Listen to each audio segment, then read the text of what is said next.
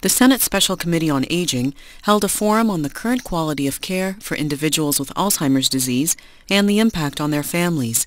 Participants include Assistant Health Secretary for Aging Kathy Greenlee, as well as representatives from assisted living facilities and Alzheimer's associations.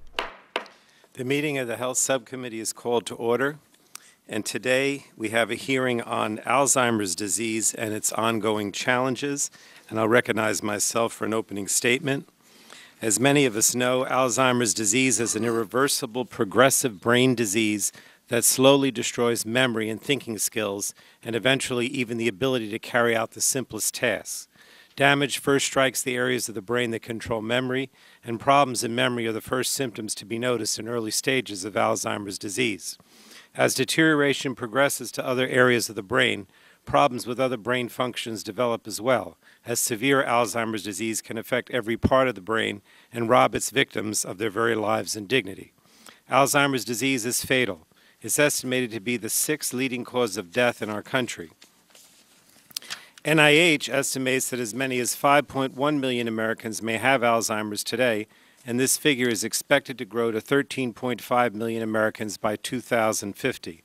The truth of the matter, though, is that these figures give an incomplete snapshot of Alzheimer's disease and related dementias. Alzheimer's is at the heart a family disease, as the intense caretaking that those afflicted with the disease requires places a heavy financial and emotional burden on the family. The serious medical complications related to Alzheimer's mean that caregivers often struggle to maintain work outside their home to earn a living while balancing a never ending schedule of monitoring and treatment for family members living with the disease. For many adults, known as the sandwich generation, they're duly responsible for caring for their aging parents while they're also caring for their children. And Alzheimer's has a devastating impact not just on families but on our national economy. It's projected that the national cost associated with caring for those with Alzheimer's exceeds $172 billion each year, with the figure expected to rise to 1 trillion by 2050. And these costs represent the burden on Medicare, Medicaid, private insurance caregiving, and out-of-pocket costs for families. Of this figure, 123 billion can be attributed to Medicare and Medicaid alone. Until we cure Alzheimer's, it's imperative that our healthcare system provide stronger support for families caring for loved ones with the disease. The Affordable Care Act, which we passed earlier this year, establishes the Community Living Assistance Services and Supports, or CLASS program, a new national long-term care insurance option. This legislation also provides Medicare beneficiaries with free annual wellness visits, which may increase the detection of early cognitive impairment, enabling patients and families to better plan for care needs. And finally, the Affordable Care Act will ensure that Americans living with Alzheimer's disease and other pre-existing conditions will not have to worry about having their insurance coverage discontinued or denied.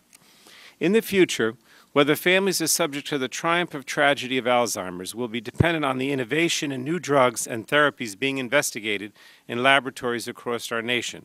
And today we're going to hear from the National Institute on Aging at the NIH about the great work their scientists are doing to better understand, diagnose, and treat Alzheimer's disease. NIA's translation objectives have focused on supporting early drug discovery and preclinical drug development of novel compounds for Alzheimer's therapy. We're also going to hear from the Coalition Against Major Diseases within the Critical Path Institute on its efforts to improve applied regulatory science and how this will strengthen our ability to treat diseases like Alzheimer's.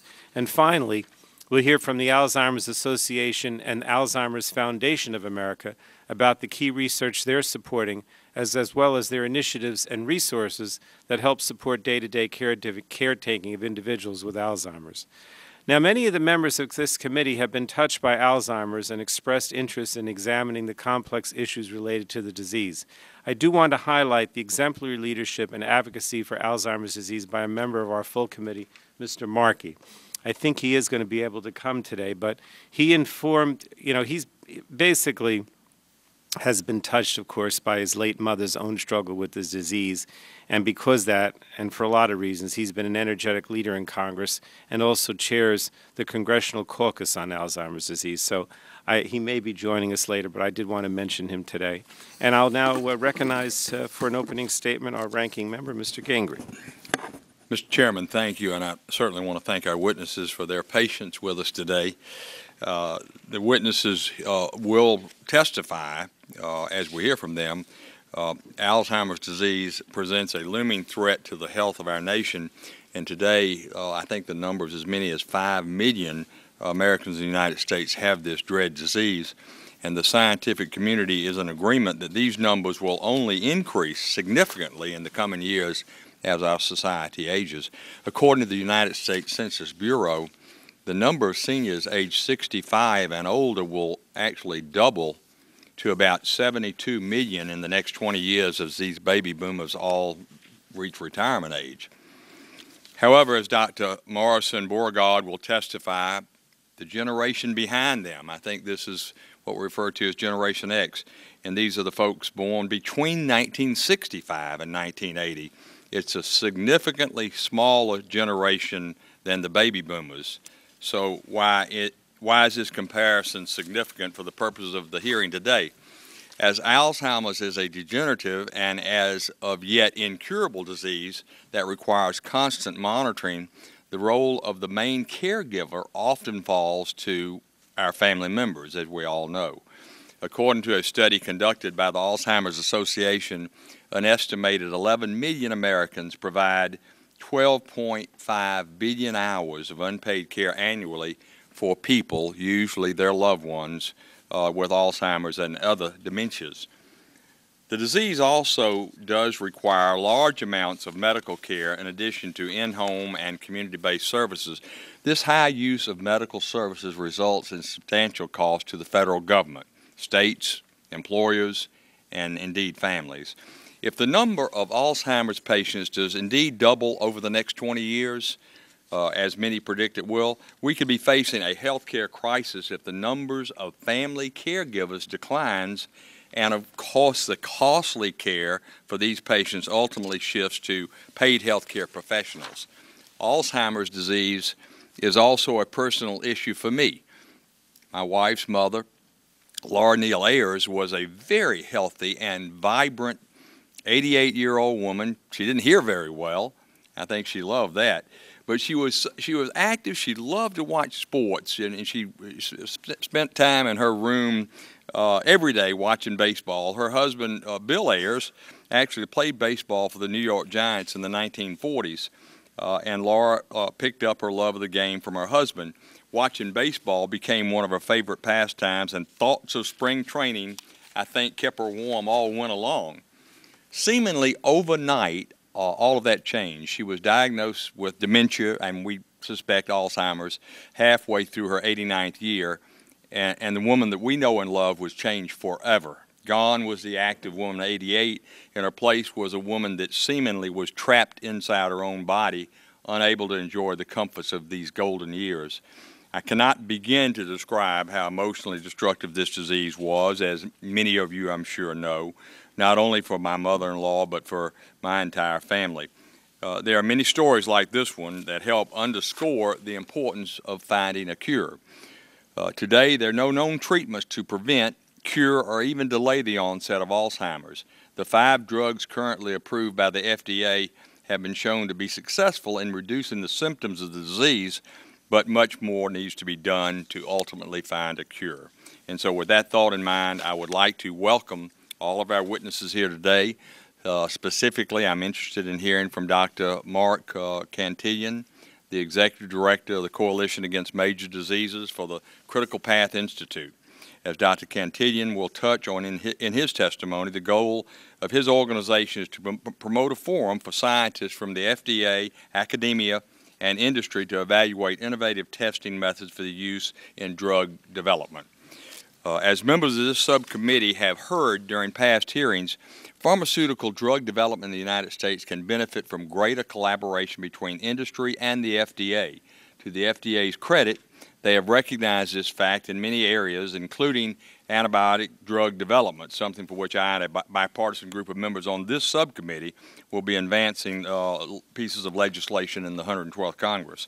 As a representative of the citizens of the 11th of Georgia, I believe that government works best when its processes are constantly scrutinized and reformed when necessary to ensure they work as efficiently as possible. That theory applies not only to Congress and the White House, but government agencies as well. Therefore, I hope to learn more about this uh, uh, phrase, uh, applied regulatory science, during the question and answer portion of the hearing and how it might improve patient access to quality care.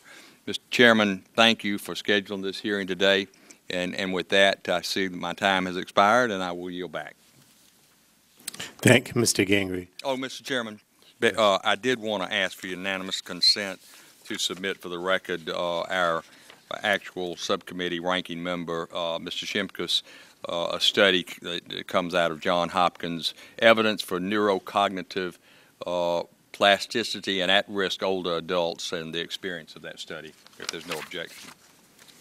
Without objection, so ordered. Thank you, Mr. Chairman. Uh, next, for an opening statement, uh, the gentlewoman from California, our Vice Chair, Ms. Capps. Thank you, Chairman Pallone, for holding this, the final health subcommittee of the 111th Congress. And I want to thank you um, for your wonderful service as chairman over the last four years. Alzheimer's disease is a very topical subject for this hearing because the challenges faced by patients and their loved ones are so reflective of the challenges we face throughout our healthcare system. Long term, these are some of the challenges which fit uh, with Alzheimer's so well. Long-term care availability and its costs, respite care, an adequate workforce, and research for better treatments and a cure. Now that's just touching the surface of the many challenges that we face with this and so many other chronic conditions. But thankfully, and thankfully, the new healthcare uh, law uh, provides much re needed relief for many of these concerns. One of these is the new long-term care insurance option. There is also Medicare prescription cost relief, and there's opportunities for training the next generation of health professionals. In addition, the Cures Acceleration Network, along with what my uh, our chairman mentioned as the Class Act. Um, and of course, we have a lot more that we should undertake now within this framework of the new legislation. Some of these other steps we can take, such as passage of legislation that I'm very proud to co-sponsor in the National Alzheimer's Act, uh, I know we're going to be, you're going to be addressing today in your testimony, including the National Alzheimer's Project. And so with the goal being that we can provide and develop a, a, comprehensive strategy for how to address Alzheimer's disease, how to continue, as many of you have been doing over these past many years. Um, so I do look uh, forward to hearing from our witnesses today about the latest in Alzheimer's research. I understand there are some very cri uh, critical breakthroughs uh, that have uh, uh, been working their way through the clinical trials and so forth, uh, and, and also what you see for us in guidance in the next Congress as pressing needs that patients, and so many of them, increasing numbers, uh, their family members and caregivers are, are, going to experience. As has also been mentioned, uh, there's probably not one person in this room who hasn't been touched personally by this devastating disease. Uh, and we need to know, it's a crisis proportion really in our society now, how best to equip ourselves and our communities uh, to cope with it. So I yield back and look forward to today's uh, hearing. Thank you. And I also wanted to uh, thank you also uh, as the vice chair. You've been You're really welcome. tremendously helpful and so much, so often uh, giving us insight on, on issues because of your practical experience also as a nurse and your background. So thank you. Our next uh, uh, member for an opening statement is the gentleman from Georgia, Mr. Barrow. Thank you, Mr. Chairman. I want to thank you also for your leadership throughout the 111th Congress on this committee. Um, the poet said that comparisons are odious, and at the personal level, no one wants to have their personal trauma or tragedy compared to somebody else's. But at the level of public health and social impact, I think some comparisons are useful. The scourge of cancer has many faces. The scourge of Alzheimer has a very definite uh, profile, many different impacts on folks, but a very different impact in terms of the family. And I think it's useful to point out that we didn't really begin to marshal the nation's resources in the war on cancer until it was, until folks could say, you know, everybody knows somebody who's been touched by cancer. Well, I think it's fair to say that everybody now knows somebody who's been touched by Alzheimer's. Everybody knows the particular impact it has on family and on the communities of interest around families. That is the hallmark of this of this dread disease. And so I think we can take inspiration from the fact that so many folks are impacted by this. I think it's important to point out also, uh, in, in ways that, that supplement what others have said, the cost of this disease, the, the uncompensated care and the out-of-pocket expense to our system is staggering and growing exponentially in ways that I think uh, compare um, very unfavorably uh, to some of the other diseases that we deal with at a, at a social level. Right now, we're spending something like 170 plus billion dollars a year in compensated and uncompensated care, taking into account the fair market value of the services that folks are being forced to render and not getting any kind of compensation for at all. That's, that's coming out of our coming out of our social product, our gross social product. It's projected to cost our society something on the order of a trillion dollars a year at current growth levels by the time we reach 2050.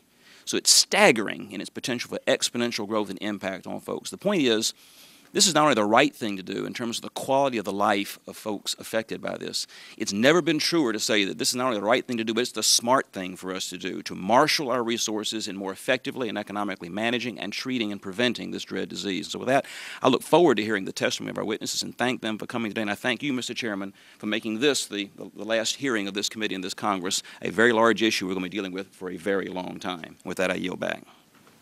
Thank you, Mr. Barrow. Next, the gentlewoman from the Virgin Islands, Ms. Christensen.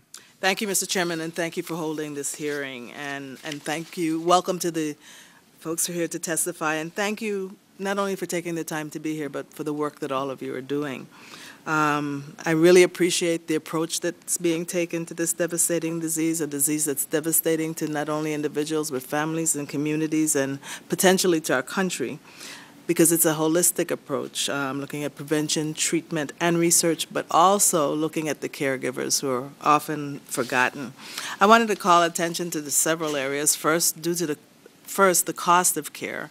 Due to the cost of care, this disease has the potential to bankrupt our healthcare system unless we invest in all of these aspects today. In fact, by 2050, it's estimated that 13.5 million Americans will be suffering from Alzheimer's, and the cost might be as much as $1 trillion a year.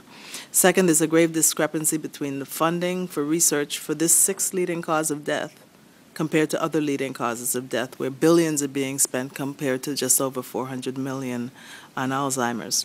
Third, I, I want to call attention to the fact that racial and ethnic minorities are disproportionately impacted by Alzheimer's, with African Americans being twice more likely and Hispanic Americans 1.5 more likely to suffer from Alzheimer's and other dementias, despite the fact that they're underdiagnosed compared to their white counterparts.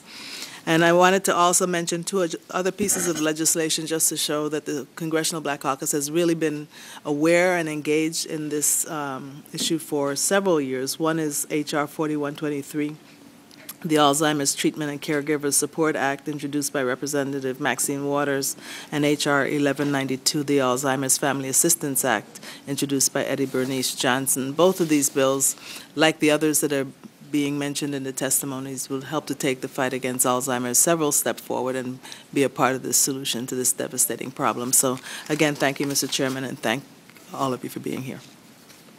Thank the gentlewoman. And uh, next is the gentleman from Pennsylvania. I mean, from Ohio, Mr. Space. Thank you, Mr. Chairman. Uh,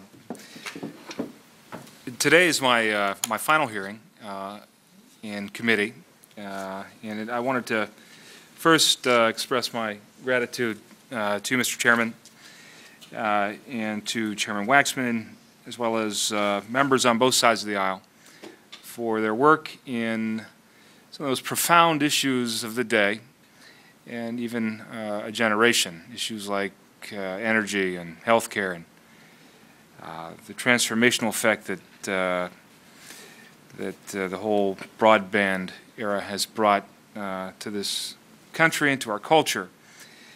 And uh, while we didn't accomplish everything that I think we had set out to accomplish, we got a lot done. And there's a lot to be done. Um, my district uh, back in Ohio is a very rural district. It's uh, Appalachian, Ohio, uh, where the people are good and they work hard and a lot of good things going for us back there, but there are a lot of challenges that we have, and the, we share those challenges uh, with the rest of rural America. And one of the things that's unique about this committee, I think, is the effect that it can have on bridging the divide that exists between urban and suburban America and rural America. And certainly, a divide does exist when it comes to accessing education, certainly with regards to accessing health care. And I encourage the committee to be uh, every bit as ambitious in tackling some of those challenges in the upcoming uh, session of Congress. Uh, with respect to the issue of today, Alzheimer's, um, I, I uh, sympathize with the remarks of my colleague and friend from Georgia, Mr. Barrow. 172 billion dollars a year. Uh, those are warlike numbers. Uh, in other words, those are the kind of numbers you spend when you go to war. If you couple uh, the amount of money that we're spending as a society on a disease like Alzheimer's with what we're spending on diseases like diabetes and cancer, and the list goes on and on, it soon reaches the trillion dollar level. In fact, Alzheimer's alone by the year 2050 will reach that level. And we cannot sustain that as an economy. When John Barrow says it's not only the humane thing to do, it's the right thing to do, uh, what he's saying is uh, if it's not important enough to deal with these issues simply because of the mitigation of human suffering that, that occurs as a result of these diseases, then certainly uh, we should be able to justify it because of the cost. And uh, like Alzheimer's and diabetes and cancer, the answer, uh, at least from the congressional perspective, is in medical research. Uh, we cannot simply rely upon the private sector to tackle these diseases, not simply because it's not the right thing to do, but we can't afford it. For every dime we invest today in research, we will return, receive a return of dollars in the future, many dollars. So I urge this committee in future efforts, including its efforts with regards to Alzheimer's, to bear in mind the obligation that we have as an institution, as a government, uh, and the duty we have to our people to conquer these diseases through early diagnosis, advanced diagnosis, advanced treatment, and above all, cure. Let's not forget cure. With that, uh, Mr. Chairman, again, thank you for your leadership, and uh, it has been a pleasure serving on your committee. Mr. Chairman? uh, Yes. Could I have a brief point of personal privilege, Absolutely. friendly point of personal privilege? Uh, Let me first of all, to my friend from Ohio, Mr. Space, and truly is my friend, and he and I know that. Uh, Indeed, we will miss him. Uh, He's a, a, a great member with a great heart, and I think the words that he just expressed to this committee uh, indicate the type of person that he is. And uh, Zach, we will miss you, and I really enjoyed serving with you, and I hope we'll keep in touch, my friend. Uh, also, I wanted to say to you, Mr. Chairman, uh, and I and I say this on behalf of my colleagues who I guess are uh, on airplanes about now, trying to get home to their families, but. Uh, and not the least of which, of course, would be Ranking Member John Shimkus. Uh, we have really enjoyed uh, serving uh, with you, under you, on this Health Subcommittee of Energy and Commerce. Not always agreeing on every vote, in uh, fact, uh, disagreeing a lot of times, but no one could be more agreeable when he disagrees. And, Mr. Chairman, we respect you and have hold you in high regard and look forward to serving with you in the 112th. Well, thank you. I really uh, appreciate that, and I, I want to say the same about you. I mean, your your input, uh, not only as a physician but just in general, has been fantastic. And you know, I, I, I kind of wish that Mr. Shimkus was here today too, because I wanted to say how easy it was to work with him uh, in the last. Uh, I guess it's not two years; it's a little over a year or so. Um, and it is true, I think, that even though we often disagree on a lot of issues, that we have been able to work together on many issues. And I, it kind of bothers me sometimes when we you know, when the, the media, I guess, pays attention to the differences and doesn't highlight how many bills we've actually passed out and worked on together and got signed into law that were very important uh, uh, for the American people. So thank you.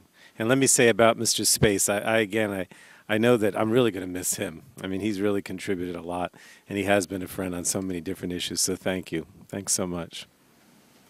Okay, we'll get to our panel. Um, let me um, let me welcome you first of all.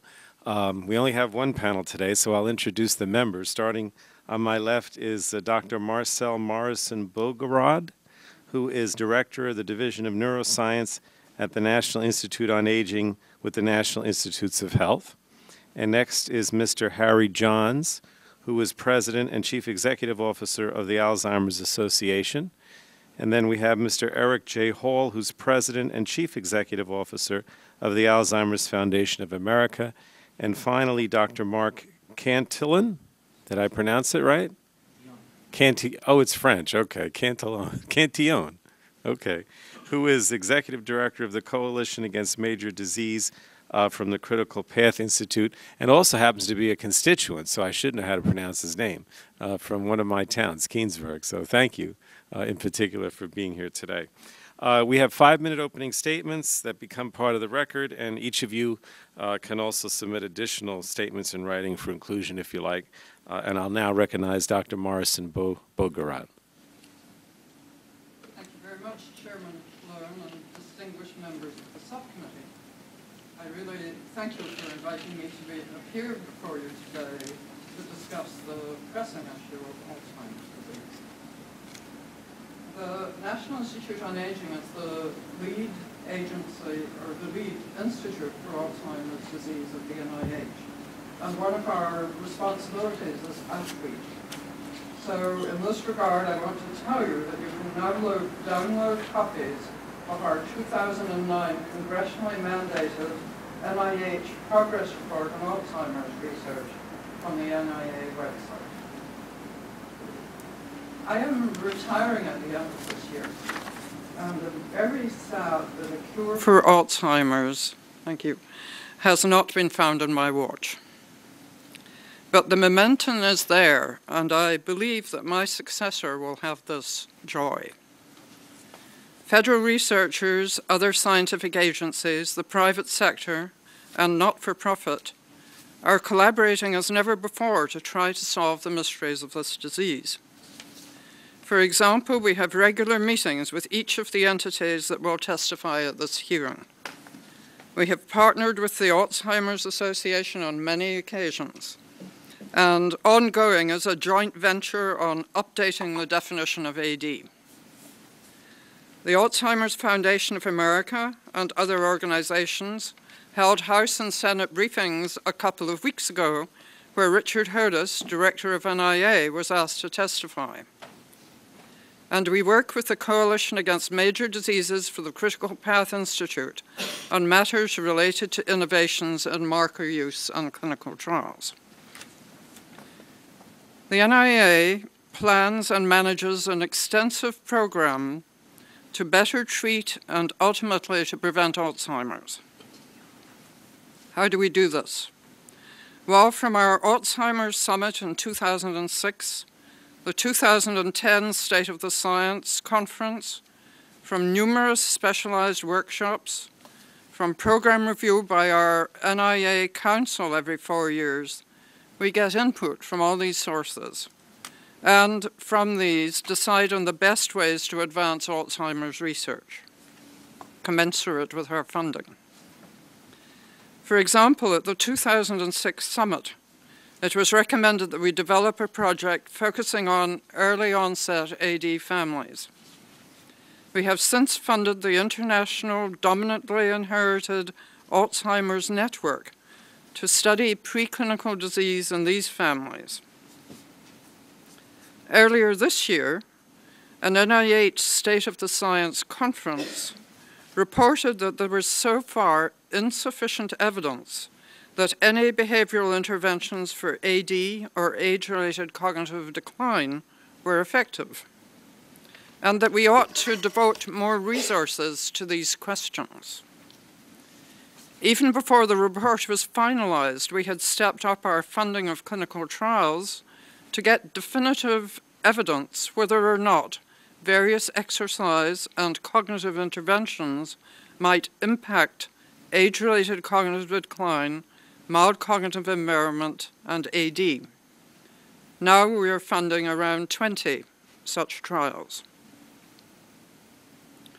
The Alzheimer's Disease Neuroimaging Initiative is another example of our leadership.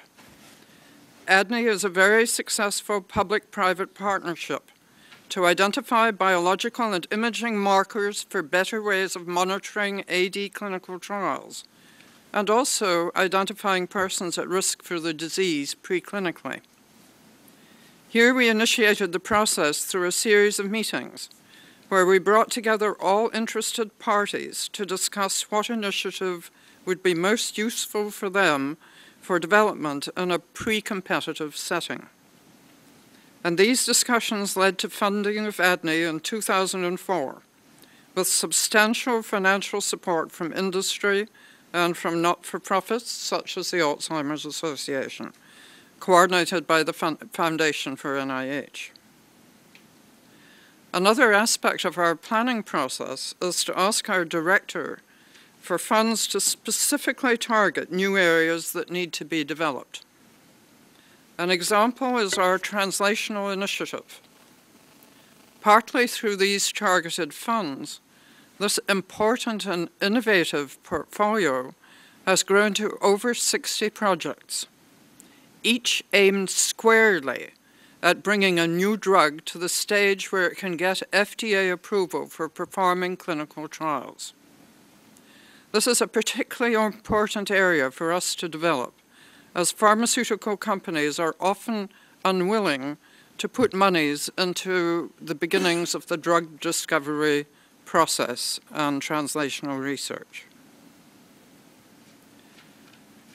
One reason that drug trials have not worked so far may be that the drugs are given too late in the disease to have any effect.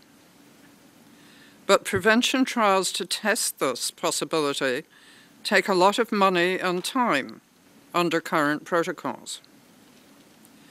We are developing new methodologies, and in the meantime, we have been able to fund a number of prevention trials by the simple way of adding cognitive measures onto trials started for other clinical conditions, often by other institutes.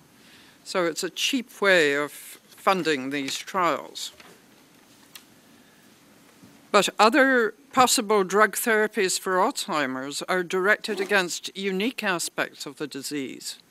And so for these more specialized interventions, NIA must continue to develop AD-specific trials.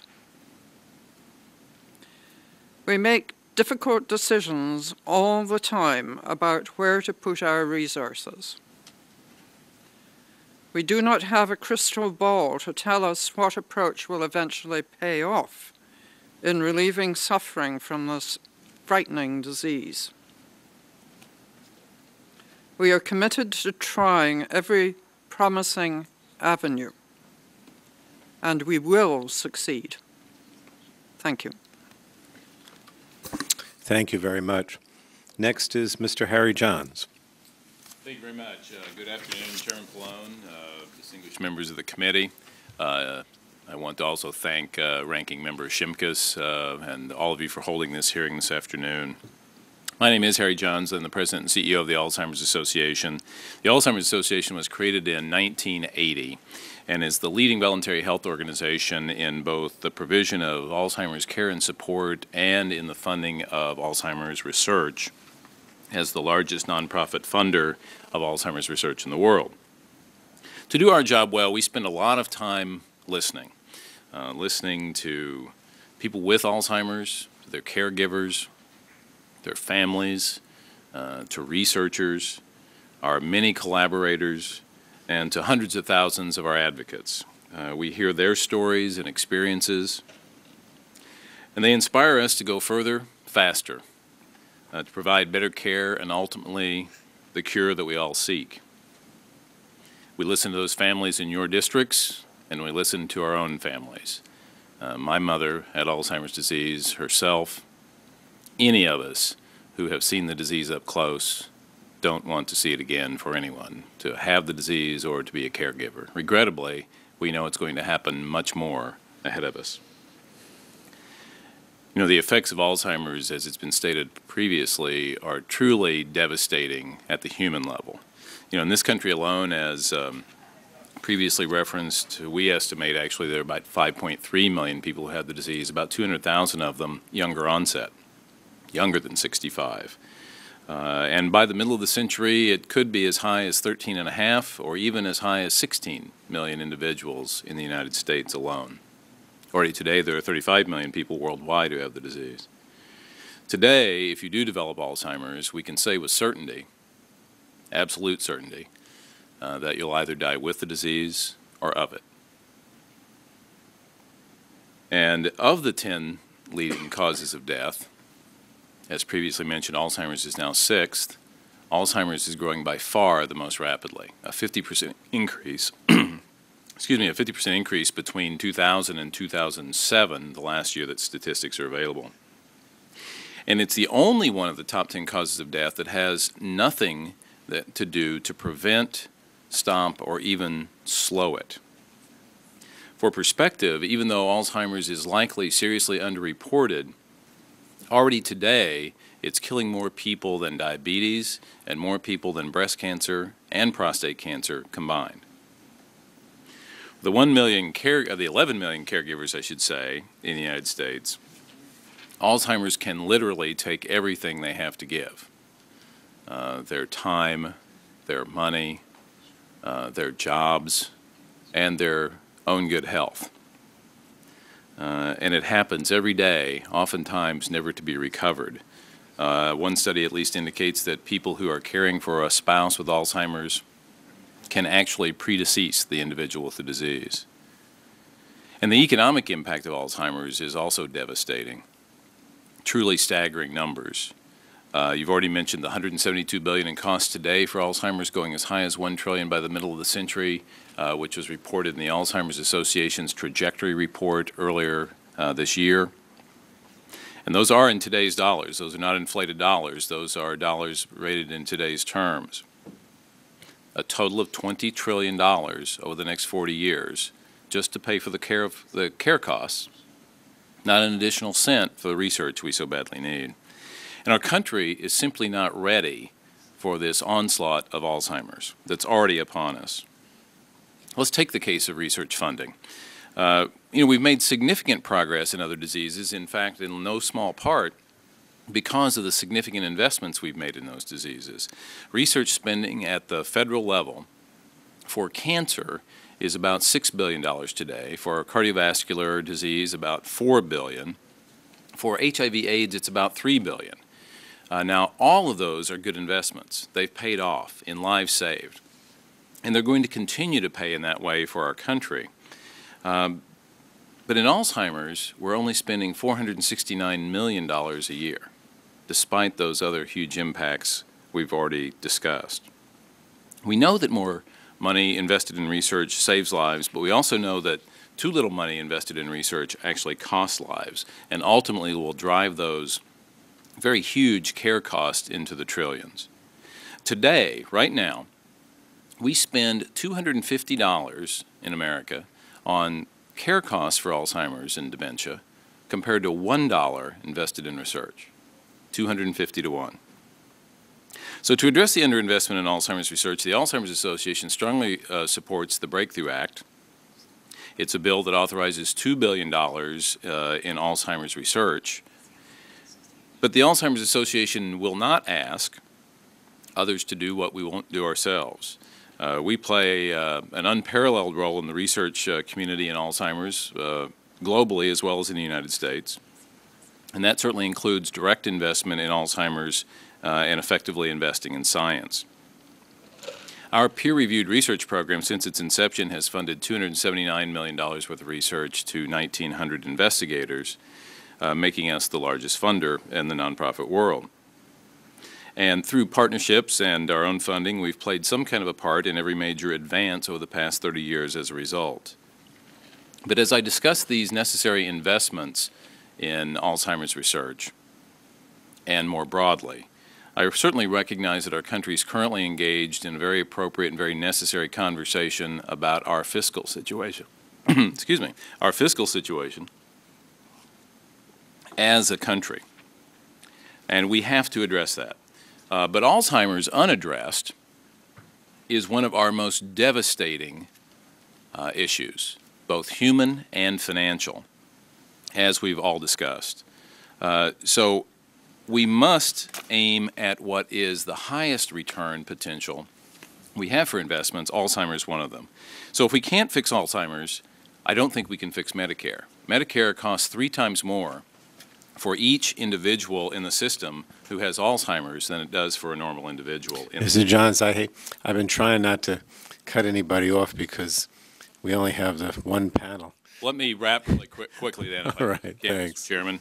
Uh, you know, certainly, uh, I want to uh, mention the National Alzheimer's Project Act, and I want to uh, uh, thank this committee uh, for its leadership. Certainly, again, want to recognize uh, Ch- um, uh, Member Congressman Markey, who you mentioned, for his leadership as the author. Certainly recognize Dr. Burgess, who's already provide, also provided leadership on this. And we uh, know, of course, the Senate passed the bill yesterday. We look forward to the real possibility of the House passing it. We urge you to pass it, and we look forward to working with this committee and, and, uh, and the Congress to realize the ambition of the Alzheimer's Association, its vision, a world without Alzheimer's disease. Thank you. Mr. Hall. Chairman Pallone, uh, members of the committee, uh, thank you so much for convening this hearing and for inviting the Alzheimer's Foundation of America to testify. Uh, I am Eric J. Hall. I am the AFA's founding president and chief executive officer, and I am truly honored uh, to be here to testify on behalf of our member organizations and families that we care for uh, across the country. Uh, AFA was formed in February of 2002 to provide optimal care and services to individuals confronting dementia and to their caregivers and families through member organizations dedicated to improving quality of life. Today, our membership consists of more than 1,400 organizations, including grassroots not-for-profit organizations, government agencies, public safety departments, and long-term care communities.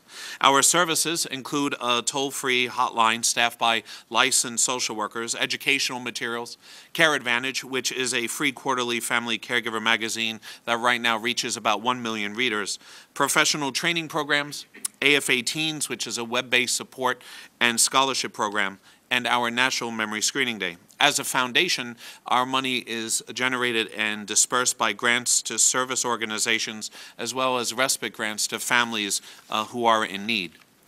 Recognizing the severe fiscal challenges facing our nation, it is more important than ever to leverage available private sector resources in a cost-effective manner to support public sector initiatives.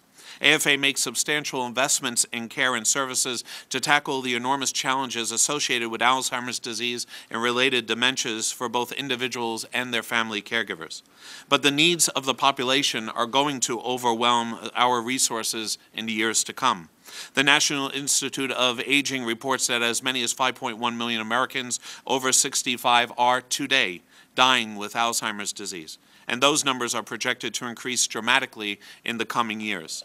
The rapidly rising costs associated with this disease will put an enormous heavily uh, burden on families, businesses, and government economically. It is our opinion that increased investment in preventing, treating, and or curing chronic diseases of the aging, such as Alzheimer's disease, is perhaps the most uh, single most effective strategy in reducing national spending on health care. Chronic diseases associated with aging account for more than 75% of Medicare and other federal health expenditures. Unprecedented increases in these diseases as the population ages are one reason why the Congressional Budget Office projects that total spending on health care will rise to 25% of the U.S. GDP by 2025. Simply put, our nation does not have the luxury of time to wait to address the health research needs of this population. Standard & Poor's recent report titled Global Aging 2010, An Irreversible Truth stated that no other force no other force is likely to shape the future of national economic health, public finances, and or policy making as the irreversible rate at which the world's population is aging. Standard & Poor's believes that the cost of caring for people will profoundly affect growth prospects and dominate public finance policy debates worldwide. As we have learned from the experience that we have all had with polio, heart disease, HIV, AIDS, cardiovascular, and other diseases, medical research and breakthroughs can have a profound impact in reducing healthcare costs at the extension as the extension of life expectancy from age 47 in 1900 to almost 80 in 2000 demonstrates medical advances enormously increase national productivity and prosperity. Yet those benefits can only come about if NIH makes the needed investments in research aimed at preventing, treating, or curing age-related diseases and extending healthy life. AFA again recognizes the serious fiscal challenges facing our nation, which will require Congress to carefully scrutinize future funding priorities. We believe it is critical to leverage available resources within the private sector, including not-for-profit organizations such as our own, to support proven cost-effective initiatives, and that's why we will all need Congress to be our partner.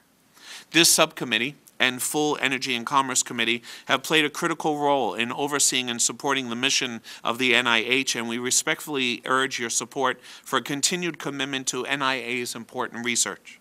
AFA is seeking 1.4 billion an increase of $300 million in fiscal year 2012 National Institute of Health budget, specifically for the National Institute of Aging. This funding is the minimum essential to sustain the research needed to make progress in attacking the chronic diseases that are driving mass increases in our national health care costs.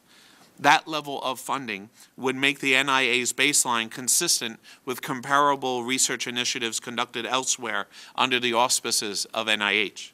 If I, NIA funding is not significantly increased, we stand to lose a generation of more young and emerging investigators in aging and Alzheimer's disease.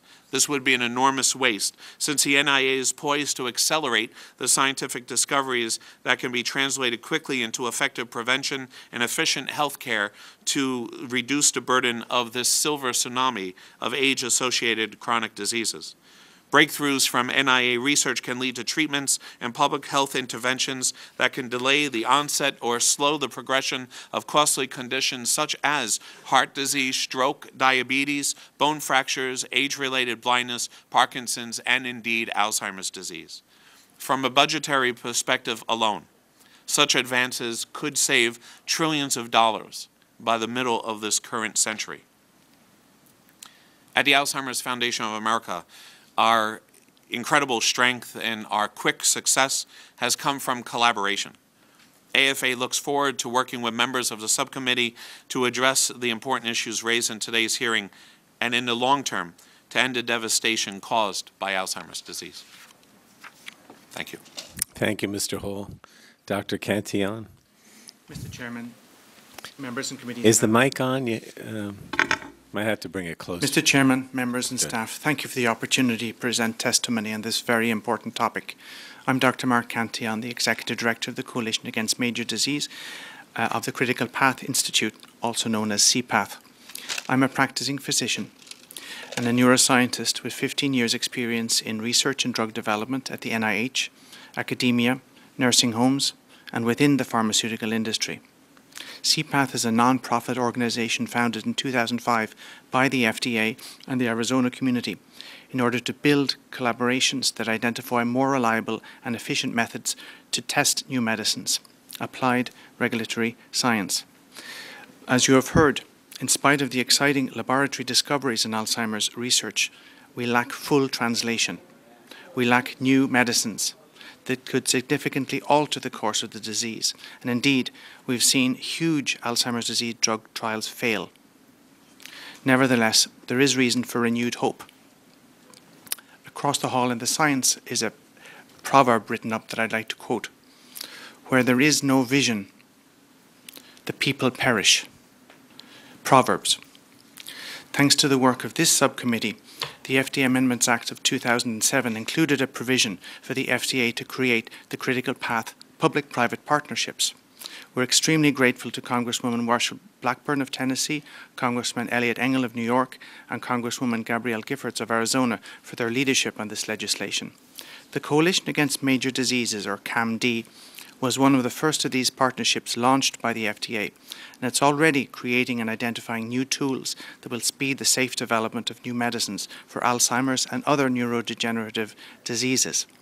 CAMD seeks to recreate the sense of urgency and open collaboration that made the unprecedented rapid progress against AIDS possible. Sharing of knowledge was a hallmark and is generally accepted as the reason that the rapid and enduring success was secured against that epidemic. Created by CPATH and the Engelberg Center of the Brookings Institute, CAMD is a consortium that currently includes scientists from 12 major pharmaceutical companies, NIH scientists, as well as experts from patient organizations such as my colleagues here today, the Alzheimer's Association and Alzheimer's Foundation. The FDA, along with the European Medicines Agency, the EMA, and indeed the Japanese PMDA provide advisors to our over 250 scientists who participate in CAMD by sharing what they know about Alzheimer's disease and how they better contest new, new therapies. CAMD's accomplishments have already changed the way we tackle this devastating disease. Firstly, CAMD uh, uh, researchers compared the way that they and other researchers score dementia score dementia in a clinical trial and subsequently corrected over a dozen inconsistencies. Now it's possible for them and for EMA and FDA to compare results directly from study to study. This is a great example of applied regulatory science because it improves the quality, the accuracy, and efficiency of decisions made by both the regulators and the regulated industry, the pharmaceutical industry. A first ever, CAMD was able to pool the data from 11 clinical trials conducted by seven different pharmaceutical companies. This has created the largest publicly available Alzheimer's disease database in the world, and it describes the natural course of the disease in over 4,000 patients. Over 200 teams of scientists around the world are already using this, for example, modeling. In the past, pharma scientists had to design trials based on their clinical experience or data within the company or what they read in the medical literature. This database allows the individual patient level data to show progression over time in this number of patients. This is far more precise than their clinical experience or what they could glean from the medical literature. This database also allows them to more accurately predict the outcome for a particular trial or how long the trial must be or how many patients must be included. Indeed, how genetic subsets of the population might respond differently, etc. CAMD is now working with the NIH and with academic centres to pool their data in the same standardized database to further enrich this as a leading edge tool. CAMD is also helping define the FDA's new qualification process described in the new guidance. In this work, CAMD submits data and requests that the FDA accept certain brain imaging tools or cerebral spinal fluid tests as qualified for identifying, identifying patients much earlier in their disease when there is still brain function to be saved. Yes, there are many reasons for hope. The critical path public private partnership is improving the applied regulatory science for Alzheimer's at the FDA. However, we do need your help. Understaffing is a serious problem throughout the FDA and is especially critical for CAMD. The FDA needs your support to be able to dedicate the required number of scientists and staff to participate in CAMD and other critical path partnerships. This is the kind of applied clinical science that is changing the way drugs are tested and evaluated today so that Alzheimer's can be prevented, not just slowed. I thank you for the opportunity to provide this testimony, and everybody in the CAMD thanks you for your leadership and foresight in authorising the FDA's critical path public-private partnerships that are giving new hopes to patients and families at risk for this devastating disease. I'd be happy to answer any questions. Thank you, Doctor, and thank all of you. We'll take questions from the uh, members, and I'll start with myself, and I'll start with uh, Dr. Morrison uh, Bogorad. Um, scientists know Alzheimer's attacks the brain long before people exhibit cognitive decline, but the specifics are crucial uh, because so far, drug after drug has failed to effectively treat Alzheimer's in people who already show symptoms. And I, I know you mentioned, you suggested that that was part of the problem, is that, you know, perhaps the answer is earlier treatment before you actually have uh, the signs of the disorder. So what I wanted to ask is why are biological markers, whether gene mutations or pathological brain changes, important to the development of effective treatments for Alzheimer's? And what research is NIA conducting to better understand these markers? And I'm, I'm sort of going back to that same issue that you mentioned, which is that, you know, we don't seem to have, perhaps we should be starting earlier, but then we would have to know whether people have the disorder. Well, it's probably one of the, the items that we're putting most of our effort into these days because we do think that understanding the earlier stages of Alzheimer's disease are very important.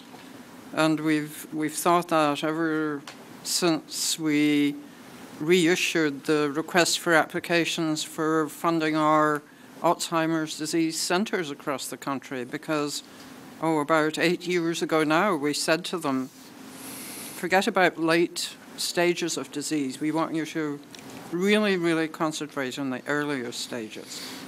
So we've thought about this for quite a long time, and obviously one of the things that's held us up has not been able be has not being able to identify preclinical stages. That's one of the things that's really being addressed by the Alzheimer's Disease Neuroimaging Initiative because um, especially in people who aren't yet showing its symptoms or in people who are developing mild cognitive impairment, which is a precursor to Alzheimer's, researchers working together with um, industry and, and people funded by us are identifying markers in the cerebrospinal fluid, and these markers are um, lowered beta amyloid and higher levels of a protein called tau that signal that a person is approaching the stage of mild cognitive impairment. The other technology which has been developed by ADNI and by others is actually being able to look at in the brains of individuals cerebral amyloid plaques through positron emission tomography, through imaging. And, and this is perhaps the most amazing breakthrough of the last several years because that has allowed us to see that in a number of folk, older folk, older than 65 or 70, about 20% of these folk who otherwise would have been thought of as, as normal, who are quite normal of amyloid plaques in their brain that in some cases are equivalent to a person with Alzheimer's disease who can't at the moment function for themselves. So these two, the, the CSF markers and the brain markers, are two ways we have of identifying preclinical disease, which we didn't have before.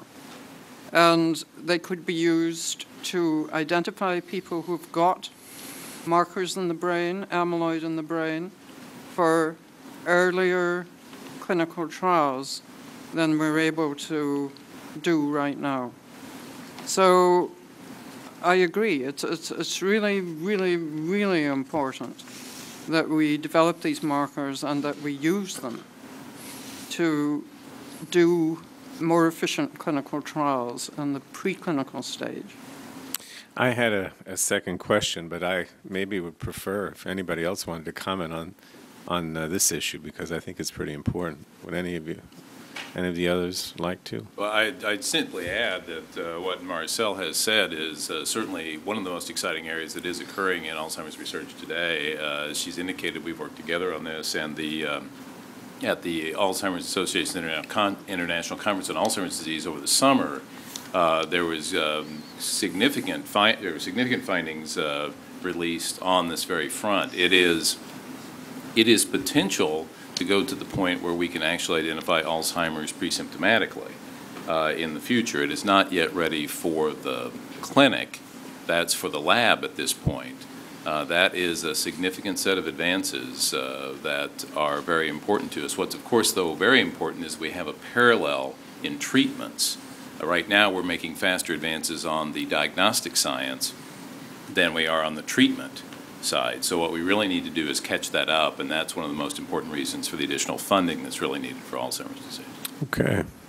Thank you. Mr. Gingrey? Uh, Mr. Chairman, thank you. I, I think I'll shift uh, then uh, to the treatment uh, aspect of it uh, and, and maybe come back to very interesting things that uh, the two of you have just talked about in regard to early diagnosis. Dr. Cantillon, I hope I did better. I know I botched that up pretty bad the first time. I have a lot of respect for the work that the FDA, the Food and Drug Administration, performs but that being said, I'm interested in exploring how the FDA drug approval process might be improved uh, in the in the hope it may help spur greater drug development for diseases such as, as Alzheimer's. I think I mentioned in my opening remarks that uh, I have uh, introduced legislation along with my colleagues here on the committee, uh, Energy and Commerce Committee, Health Subcommittee, bipartisan, Mr. Green and uh, Ms. DeGette uh, on the Democratic side, and myself and Mr. Rogers from Michigan on this side. The GAIN Act, this is uh, in regard to uh, the shortage of antibiotics. Uh, so a different uh, disease, a different a category of, of, of, of, drugs, but equally as important. Can you tell me, Dr. Cantillon, uh, how applying sci scientific advances such as the use of biomarkers or, or dr uh, drug development tools might aid in drug development in this country? Yes, thank you for the question. So, actually, as a medical director of Alzheimer's and other programs with Schering-Plough over the last couple of years before CAMD, I did sit on an industry advisory group for this ADNI trial that Dr. Bobka was speaking about, and so was giving some advice into the choice of the instruments and as these markers were being developed, had my hat on in terms of both drug development and facing the FDA with a package for an approval for a treatment. The trouble is, when you're coming from a drug developer's point of view, this is all very cutting edge. And as I said in my testimony, the science by itself is truly not enough. It's not enough to have exciting markers that may predict something that's going on in the brain. If it can't be harnessed into a path and a development uh, steps to use a new drug and prove that. I'll give you an example. So we, we talked just now about the cerebrospinal fluid, where we know that there are certain proteins that can indicate both a disease and perhaps even the type of progression predictive. We would take that, and we are taking that, and in a collaborative way with the whole field, so we're just one of uh, the collaboration that I had mentioned, look at the evidence for that in a critical way, in a, in a scientific manner. The regulatory science part is having our regulatory scientific colleagues internationally review that in a context of use. Does that allow you to choose a population for a trial who are not yet demented. So to call somebody demented, you don't need to be a doctor. It's very clear that the person does not have their brain functioning in the same way for memory and so forth. To find somebody who's very early in the disease or even hasn't fully shown clinical symptoms, you need these markers. Can we ask for FDA regulatory approval that these are standardized in such a way that they can become a tool a st standard tool publicly available at any company in this country or anywhere else can take off the shelf and put into a program such that by using this tool they don't have to defend that tool when they go in front of the FDA. That, that process has already been done in this qualification. And instead they can focus on their own particular drug that then fits into this pattern and can use that patient population, for example, to show progression over time. To those people who have low tau high tau, low, low A beta, or a particular brain uh, picture with amyloid, do they progress faster than others? And can you show a difference in the people that were on drug and off drug? That is how the whole development process can make use of this science and translate it into something that the FDA can then approve or not approve. The FDA did put out a guidance document, partially from working with us just two months ago, and in that the steps are laid out very clearly.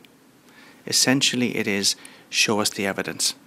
Very similar my, than my drug. time. My time is rapidly drawing to a close, but let me let me quickly ask you: uh, Do you think it's appropriate that such uh, such drug development tools are biomarkers that they first receive approval by the FDA before being used by industry and the agency to measure the safety and efficacy of the drug? Do you think that the FDA would have to approve this off-the-shelf uh, kind of testing ahead of time? So the FDA has the possibility to just approve for commercial use or other use, but that's not within the context of use that we're talking about.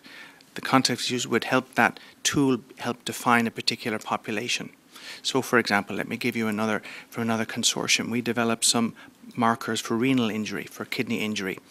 They were brand new and they could allow a drug developer or anybody to show if something was happening very early on before the kidney actually was destroyed. These markers went through this qualification process and are being very widely used by all companies, including my, my former one, to make decisions about drug development. When they go to the FDA, they don't need to defend those markers for kidney Yes. because they've already been approved. So it takes a lot of that work away and you can focus on the drug. Doctor, thank you. That does answer my question, and uh, I'll yield back, uh, Mr. Chairman. Thank you. Gentlewoman from the Virgin Islands. Thank you, thank you, Mr. Chairman. Um, Dr. Morrison Bogorad? Okay.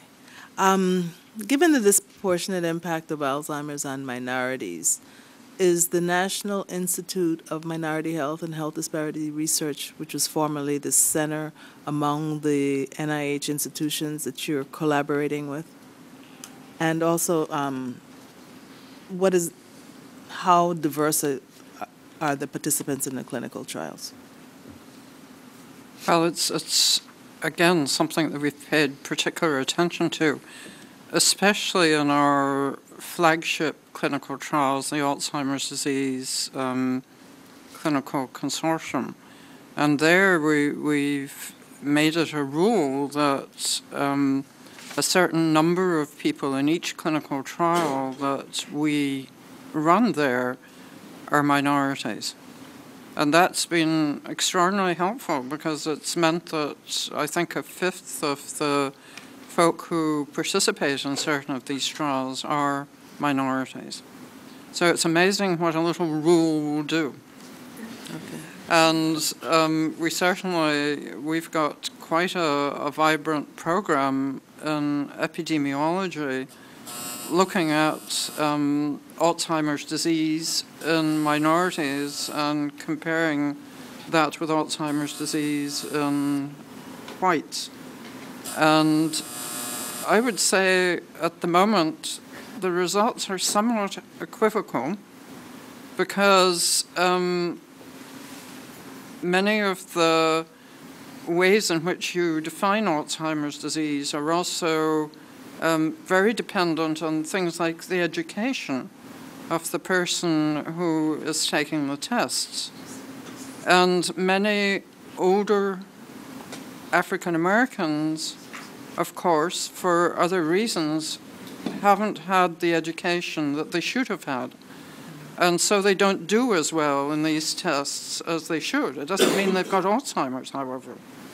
So this this is a very very thorny issue, and we've got a number of very good researchers working on that to actually try to tease out what what part of the minority um, burden of Alzheimer's disease is real, and I, I do believe some of it is because some of the the possible things that cause Alzheimer's disease are, as you're aware, much more prevalent in minority communities, things like heart disease. Right. But I do believe that some of the some of the numbers are a little bit over, um, perhaps larger than they should be because of this um, issue on how to determine Alzheimer's disease in people with different backgrounds. That's interesting because my impression is that it's underdiagnosed rather than overdiagnosed um, in minorities. But um, and I'll let anybody comment on that. But I wanted to ask Mr. Johns, this is, see if I can get this question straight. Because I know this hearing is really about getting more funding for Alzheimer's. And Mr. Johns, I heard your argument very clearly about the need for an increased investment in Alzheimer's um, to reduce the cost of healthcare eventually and to perhaps even save Medicare. Um, we've been trying to get CBO to score prevention for a while, actually introduced legislation to have them do that if they're asked by the committee. So without having scoring in place for prevention, how do you foresee getting the funding needed, especially in a Congress that's um, committed to cutting spending? And how important do you think scoring prevention is to this particular issue? Well, certainly, as you um, as you say, uh, the fact is that uh, CBO won't score what I would describe as a game changer. Uh, that is a problem I know for all of us when we have interest in what would be effectively R&D for our country. You know, we really have beyond the immediacy of Alzheimer's, we have what is a potential brain drain in our country mm-hmm. as a result of uh, research being attracted overseas. While it isn't specific to Alzheimer's, it is uh, generic and then related to Alzheimer's as well as other medical research. So we have, as a country, uh, to face what is, first of all, a significant uh, problem in that larger regard with medical research, but very specifically in Alzheimer's. And of course, uh, we have the challenge of facing our economic realities uh, and also then funding something that cannot be scored. Uh, we recognize fully the difficulties of this, but we can also see from the projections we've done, and we've gone to outside sources at the Alzheimer's Association to develop what are these data. Uh, we've actually used the CMS data on expenditures on Medicare and Medicaid. We've taken those to Dartmouth. We've had um, uh, the Lewin Group look at all these data. And what we've identified is that $20 trillion cost over the course of the next 40 years. One of the problems we have as a country, of course, is actually addressing problems that are longitudinal. Uh, those of you sitting across from me know that better than I in terms of how hard it is to make those things work. Uh, but we certainly know it too at the Alzheimer's Association, and, and any of us here sitting on this side who are trying to change the course of Alzheimer's disease. Uh, we have to find the, uh, the national fortitude to address this already enormous problem. Uh, everyone who has the disease today will die with it or of it. Uh, we do not have a treatment that stops or even slows it. Uh, the devastation of the disease at a human level for all of us, all of us who've ex- experienced it personally, uh, and for all those who haven't, we we recognize just how bad that is. Uh, I don't have the easy answer to your question, but the scale of the problem, the enormity of the issue, uh, begs for us to find a way to answer the question so that we can address this now. We are running out of time. Uh, one of the things uh, that uh, Marcelle mentioned is that uh, the science community believes ever more that we need to um, uh, intervene sooner, that the plaques and tangles of the disease are deposited earlier in life, at least 10 years before the symptoms manifest if in fact we don't make these investments relatively soon, the baby boomers, 10 million of whom will have this disease, will be a lost cause. And the devastation at a human level and the economic toll will be solidified if we don't move relatively soon. Thank the gentlewoman. And next we have our uh, Alzheimer's hero here, who um, actually sponsored both of the bills that you mentioned, uh, Mr. Johns, the one that I guess is now in the House for action, hopefully next week, as well as the uh, larger bill. Mr. Markey. Thank you, Mr. Chairman, very much, and uh, thank our witnesses uh, so much uh, for your participation here today. Um, Robert Browning wrote, uh, Grow old with me, the best is yet to be. But the truth is that for millions and millions of Americans. Uh, the golden years are now the worst years because of Alzheimer's and the family caregiver who has to help. And so this is now at 4 million or 5 million Americans uh, already an epidemic, since, as we know, not only does the Alzheimer's patient have the disease, but one family member has it as well. So about 10 million Americans right now are living with it uh, on a daily basis in their homes or uh, in some facility. And, uh, and when it goes up to 12 million, times two, you know, 24 million, 25 million people, you know, the caregiver and the patient. Um, it's going to be an incredible moment in American history. So we have an incredible responsibility here to make sure uh, that we put in place a plan. And uh, Mr. Chairman, you um, made uh, reference uh, to it, um, which is that um, the uh, National Alzheimer's Project Act, which I introduced on this side, along with Christopher Smith, the co-chair of the Alzheimer's Task Force, uh, passed the Senate last night. And Senator Bayh and um, uh, Senator Collins did an excellent job in freeing it up, and we will be able to pass that next week uh, on the House floor. And then we will have a plan. We will have something that makes it possible for us to uh, uh, to put in place something that is the plan to uh, attack this disease. And it is long overdue, um, uh, but uh, it, it's a good beginning. Uh, so let me ask you this, uh, and maybe you could reflect upon it, Mr. Johns, if you could. Um, last year, the federal government spent $122 billion on helping people with Alzheimer's. Uh, but we only invested 469 million in finding the cure. Uh, and we know we're only at the beginning of an explosion in the bills that are going to come in from across America for uh, the federal government to help families with Alzheimer's. Can you reflect upon that? Give us your insight as to how big it's going to become uh, and why it's im imperative that we act now. Certainly, and uh, let me uh, thank you, uh, Mr. Markey, for your authorship of uh, NAPA, and again for the leadership uh, of yours and the committees in moving that forward. Certainly, the um, uh, Alzheimer's is already costing um, the 172 billion in total, the 122 billion you talked about the, for the federal government. incidentally, at the Medicare level, Alzheimer's is driving 17 percent of the Medicare budget. Uh, at this Say that again. 17% of the Medicare budget is driven by Alzheimer's already today. Uh, the total cost uh, for Alzheimer's, again, to the country will be, uh, and other dementias, uh, by the middle of the century in excess of 1 trillion per year.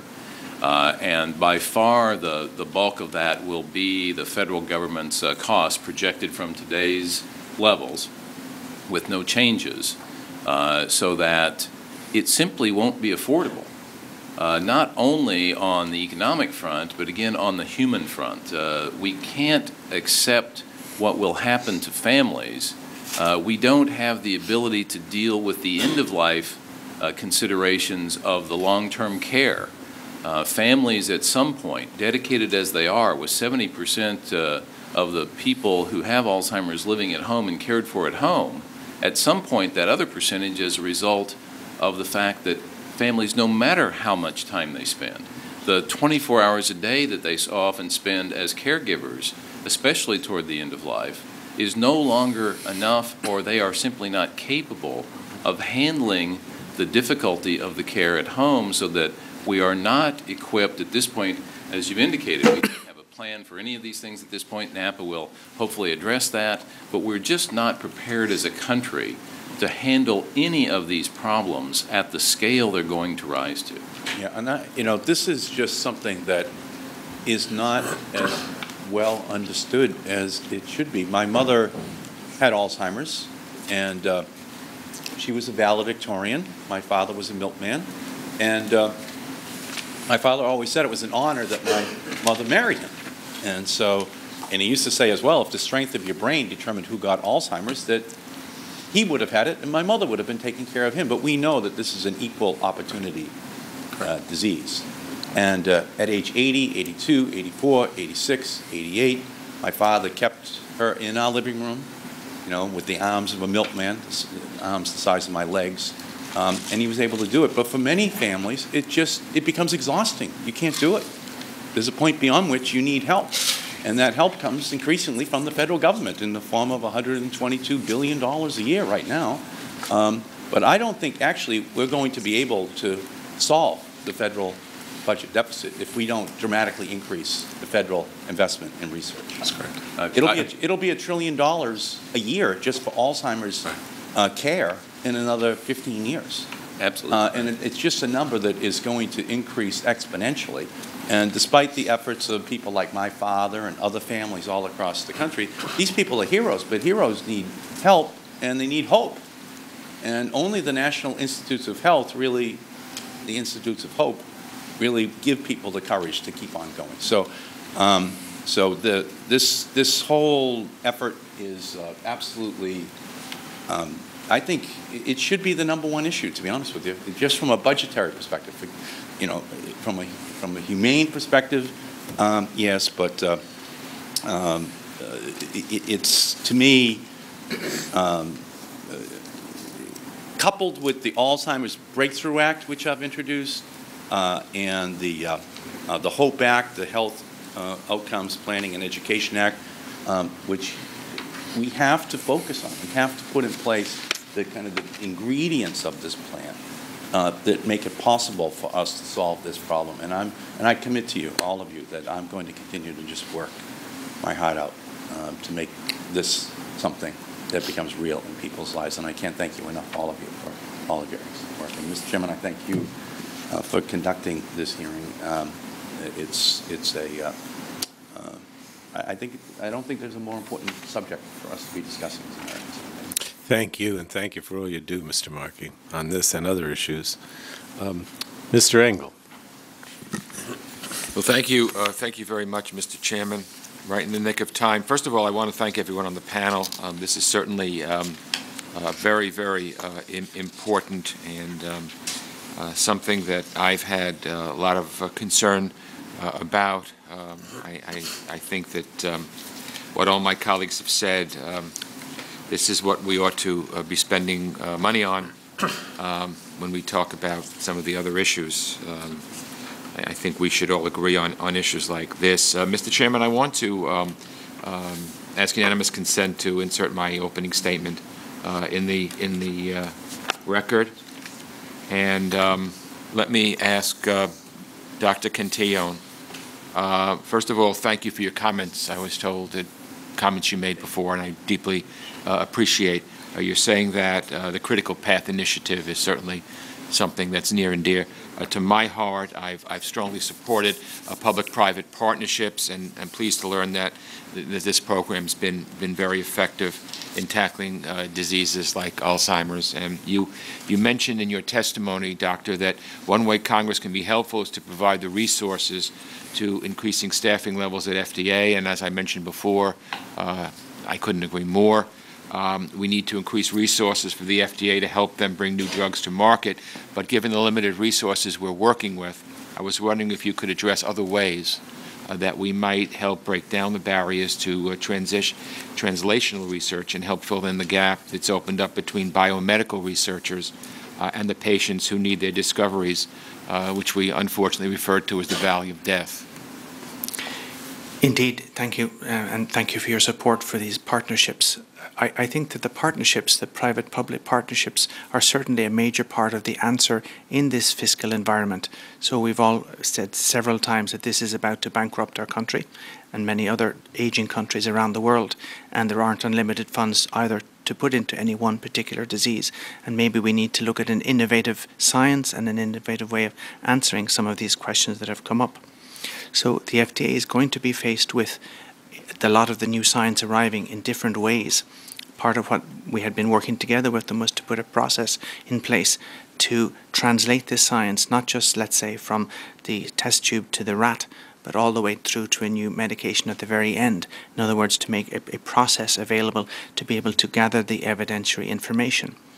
The FDA doesn't have but a few handful of staff that we deal with on, on a very regular basis, and as I'd mentioned, are indeed part of our consortium and the Europeans, in fact, are in a similar situation. So what I was referring to is basically stretching the dollar and the people that we have, and part of what we are doing and seek to do more of is, in fact, build in in-kind work.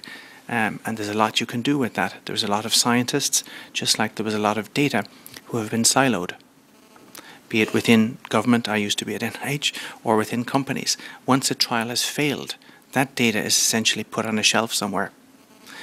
Definitely, with the kind of tools we're talking about, those data can be re examined at very least, and perhaps there'll be some pearls in there, but they also can be mined for the learnings that are there and shared. That's, that's public, it belongs to all of us. And so, what we put together are these various methods to do that it's, I would say, an innovative tool to get people to give up their silo thinking, look at a pre competitive space for companies and even for academics that they actually don't own the data that they've generated that belongs to the people. And if we can set up that way, have it as a database, for example, that I'd mentioned, but also the other tools, then that is freed for the best mind in the world to attack. And that's actually a very efficient way of doing that. Well, thank you for pointing that out. It, it, it, certainly is a shame if, if research is put on the shelf and no one else can get to it or, or look at it. Um, this has to be a collaborative effort, obviously, and um, you know, thank you for pointing that out. Um, I'd like to um, ask a question of uh, Mr. Hall and, and Mr. Johns. Um, as I'm sure you're aware, the Patient Protection and Affordable Care Act, which is referred to as healthcare, you know, reform that we just passed here. We we were uh, doing this for, as you know, for almost two years. There was a provision in there that improves access to home and community-based care for patients. Um, uh, we know that these services greatly improve the quality of life uh, for Alzheimer's patients. Um, healthcare reform, uh, as we know, strengthens the long-term care system for chronic and other long-term neurological conditions, both by eliminating the arbitrary caps on treatment, which we did, that was one of the crowning glories of this bill, and by expanding coverage to include, include pre-existing conditions, which is the second uh, pillar that is so important in this bill. Um, in an effort to improve upon existing programs that positively impact Alzheimer's patients and help you provide services, can you give us some insight as to how these provisions will improve your ability to provide services for Alzheimer's patients and their families? And can you also address what other federal programs exist that help you deliver services to more patients? Oh, please. Okay. Well, um, I personally think that uh, you know all of our constituents are in a position, especially as I mentioned previously, that 70% uh, or more of uh, people are cared for at home. Uh, all of our constituents who are in a position to be at home uh, need additional assistance. Um, as we see how all this unfolds, we'll learn better exactly how it can best serve the individuals who are in those situations. so we always uh, have high hopes for what would help to be better care at home. Uh, because we know, as I mentioned a little bit earlier, that we do not have the uh, we do not have the capability to really accommodate all the folks who would ultimately perhaps need to go to long-term care. So additional ways to find ability to handle people at home is critical to the entirety of the Alzheimer's uh, constituency. You know, and additionally, I think uh, we all agree that the longer we can prolong institutionalization, you know, the better it is for the federal budget, for sure. Um, but, you know, families do need enormous amount of support. The conversation we've had here around research is pivotal. There is no doubt we, we need to find a cure as quickly as possible, and any amount of money that we could put towards this disease, you know, would be an enormous win at this point. But, you know, the reality is, is that a cure does not seem to be coming anytime soon, and so it does rely on care and it does rely on those families. So any type of provision that supports uh, individuals with the disease and cares for them and provides for them the greatest quality of life for the longest period of time is, is great, but also to recognizing, you know, the support that is truly needed for caregivers across the country at this point, at this juncture where we are in relationship to a cure is, is really the critical step. It's what we need to do. Thank you. Thank you, Mr. Chairman. Mr. Chairman, just very quickly, uh, and I know that the afternoon is getting long, and I appreciate that our witnesses have done a wonderful job. Uh, I, I, guess I would uh, direct this to uh, Mr. Hall. Uh, can you talk about the benefits of early detection uh, as it relates to both the financial realities that patients face and for making end-of-life decisions? Sure. You know, the Alzheimer's Foundation of America hosts and uh, is the uh, initiator of uh, National Memory Screening Day. And uh, the reason that we do that is really just to sort of educate the public as a whole and then to allow individuals to participate in memory screenings across the country that isn't a diagnosis for Alzheimer's, but rather is looking to see if there's an indication of the, I guess, the most common manifestation of Alzheimer's disease, which is memory problems. Um, that initiative to us is really important because of the fact that it points to uh, a possible early diagnosis of this disease. It is really critical because our experience at the Alzheimer's Foundation of America is that our phone calls, our emails uh, in the volume that we receive, every single one of those families is in crisis and chaos. And so they are really scrambling now to figure out what does Alzheimer's disease care look like uh, what am I now responsible for as a family? What is required of me legally, financially? You know, what what's required of my time?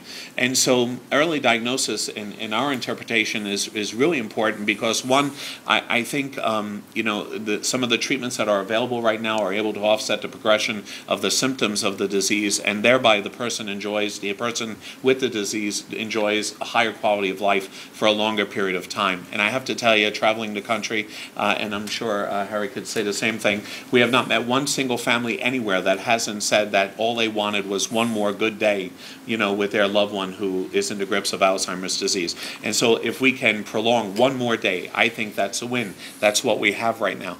Uh, but additionally, planning in this you know situation is is enormous.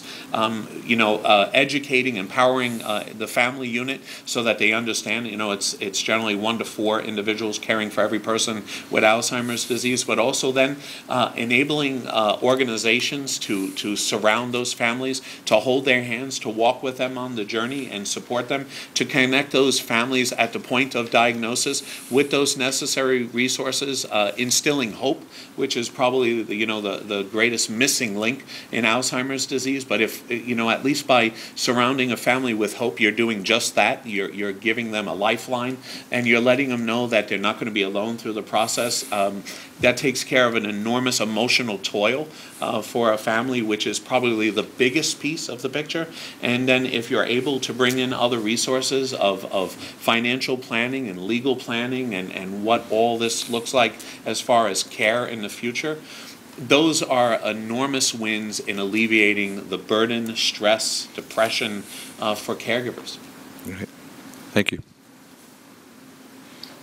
Thank you uh, concludes our questions, but I just want to thank all of you. It's obvious from listening to the questions and, and your testimony how important this is, uh, both now and in the future. We, we do plan to move the one bill uh, that passed the Senate on the House floor next week, and of course the larger bill will have to wait for another time.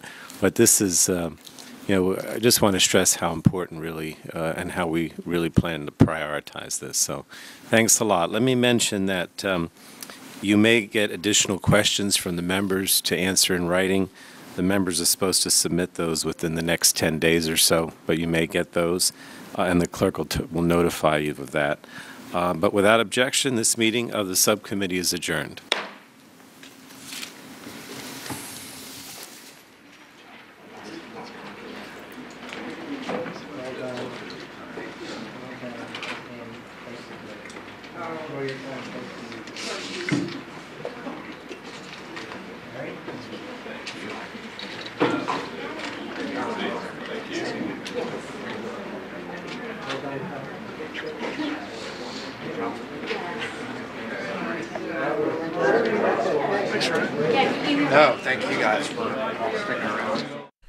Coming up next, more about the current quality of care for people with Alzheimer's disease.